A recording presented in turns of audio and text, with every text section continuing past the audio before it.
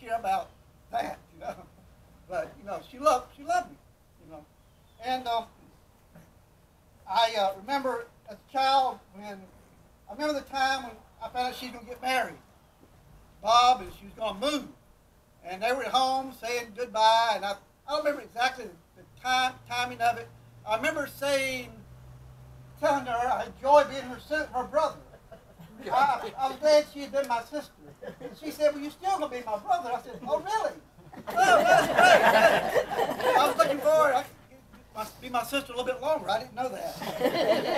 And the good thing, when they, Bob and Fay moved back to Massachusetts, the best thing about it was we got to go see them. And that's a big deal when you're a little kid. You're taking all the way up to Massachusetts. That's something else. Because we knew, and it was a great thing because we knew we were going to see Fay and Robin. Well, we was going to see Bob was there. we was going to see him. And we was going to see him. And I remember going to their little apartment that they had, and I remember, I remember exactly now the visual where it was at on Maryback Street, and I remember um, all the things inside.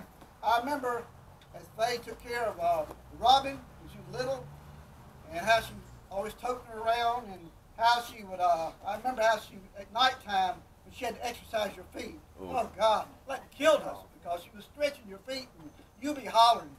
We want to say, no, you need to stop. That's just too much. But, uh, you got to do this. We'd be crying. Because she loved her family.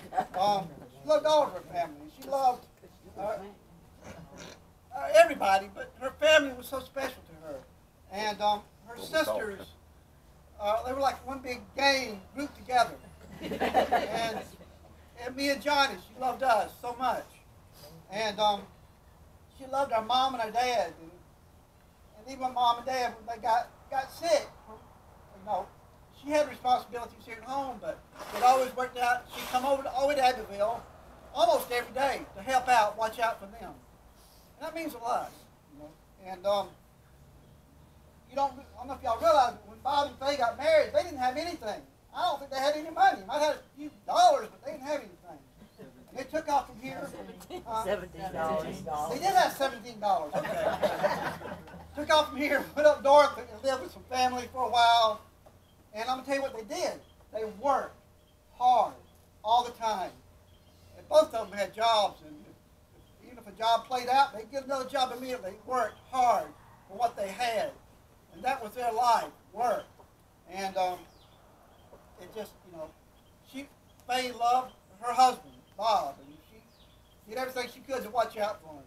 If you talk to Fay, as already been said, that's what's on her mind. I got to, I got to take care of Bob. I,